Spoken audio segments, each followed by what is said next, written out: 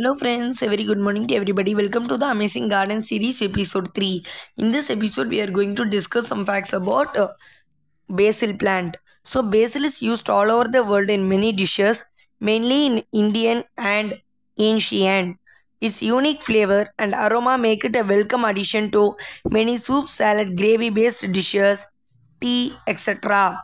It is sometimes referred to as tomato herb because it complements the taste of tomatoes in food. There are many forms of basil such as sweet basil, holy basil, Thai basil, etc.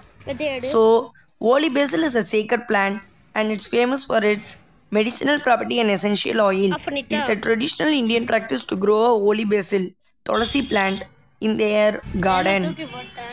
Basil has several medicinal property. The leaves are commonly used as traditional cure for cough, cold, gastrointestinal problem, dressing for insect bite, ringworm, control blood pressure, and as antioxidant.